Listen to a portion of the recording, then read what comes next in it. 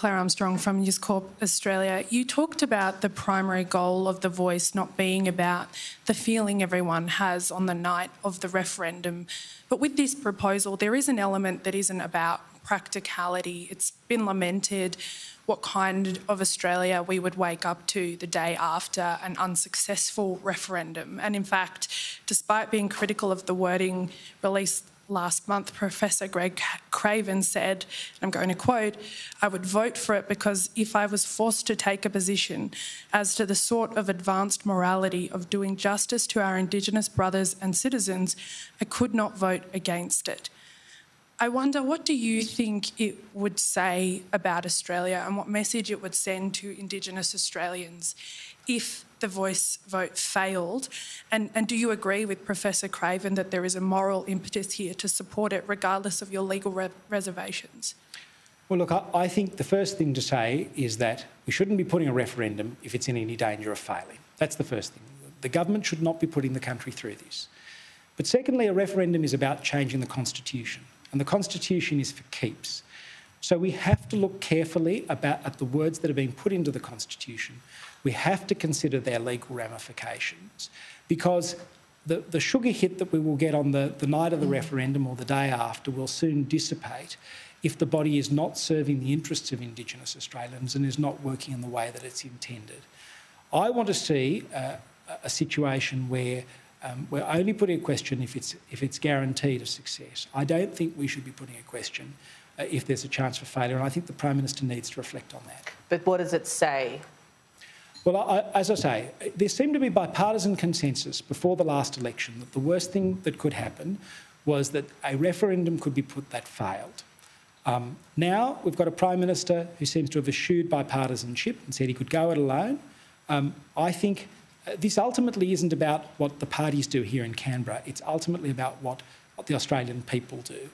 And I think Australians should be very uh, circumspect in amending their constitution. Ken Wyatt, Ken Wyatt says that if your party goes to the no camp, that you're going to be seen by the world as racist.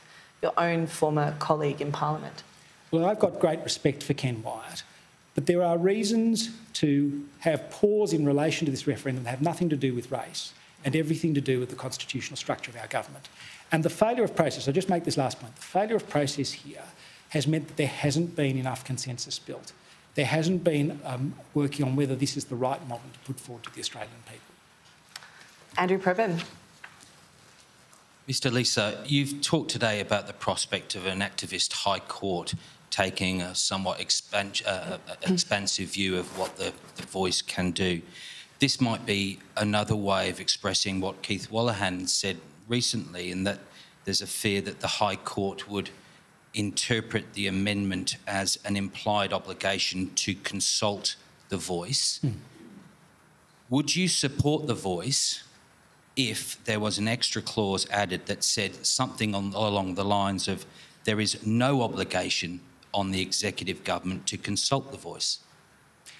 Well, look, I, I think I've, I've, articulated a view, Andrew, that I think these matters are all ultimately left better left to the Parliament than put in the in the Constitution. I think you get the vibe of. The I, I, I, get the vibe of where you're going, but I also don't think we should draft the Constitution at the National Press. I'm not asking you to, but I'm. I'm as, uh, as clearly, this is about non non justiciability. Yeah. And this would be another way to do that.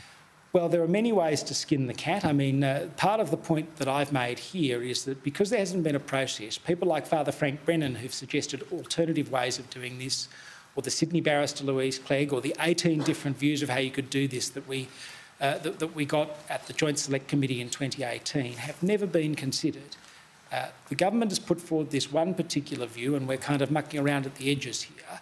Uh, I think the, the, the sensible thing to do is to have a look closely at the words that are there, but to consider do we really need that particular provision in the Constitution? What's the point of, of putting the voice in the Constitution? It's threefold. Firstly, because it's what constitutional recognition now means. Secondly, it's to give some permanency. But thirdly, and this was always the point, that it would ultimately be a matter for Parliament to adjust and change what the voice did in accordance with circumstances. If we lock in these, these matters in the Constitution today, we cannot change them. That's the issue.